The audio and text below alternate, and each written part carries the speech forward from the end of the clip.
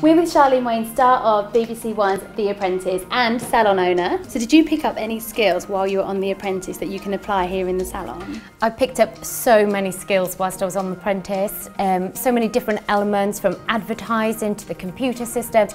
I'd say every single week was a massive learning curve. And I was going to ask you, what, what's been the most difficult? So, being a mum, three kids, being on The Apprentice, running a salon, or being in the Navy? being in the boardroom. being in the boardroom, yeah. I would actually say that being in the boardroom has been way more pressure than I felt anywhere else. And that's the truth.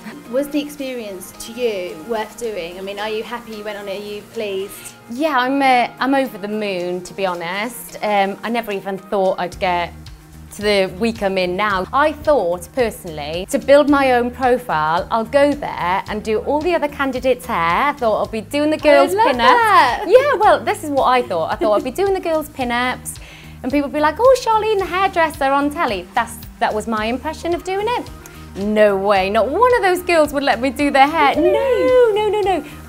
Want you to build your own reputation, would they? Oh, my dream to live in a house yeah, with a hairdresser, I'm yeah. Oh, see, no, it's okay if it's off camera, but oh, okay. soon, soon as camera's on or it's broadcast, no, they don't want you, they don't want any of your work Was come out. Was there anyone that you were living with in the house that you would have given a hair makeover to? They all had gorgeous hair. I mean, I did used to cut the lads' hair all the time. Um, I didn't have scissors with me. They got me cutting hair with a facial trimmers. They had their eyebrows threaded every single boardroom day. So I was doing that. I was threading their cheeks, threading their forehead. McGinn was the worst.